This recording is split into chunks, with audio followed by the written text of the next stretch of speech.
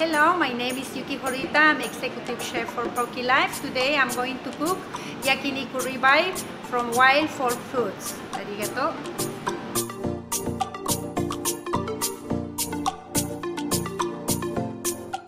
First we're gonna make yakiniku sauce. That is the key from the yakiniku beef we're gonna make.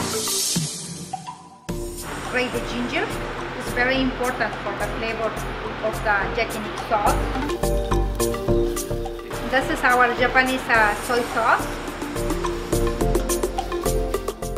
This is palm sugar for give the sweetness.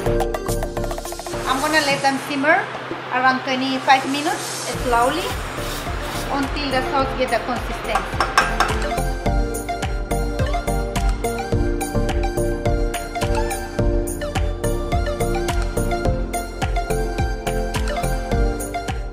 For my yakiniku steak, I'm gonna slice it. Next step, I'm gonna add a little bit pinch of salt in my steak, little bit pinch of pepper.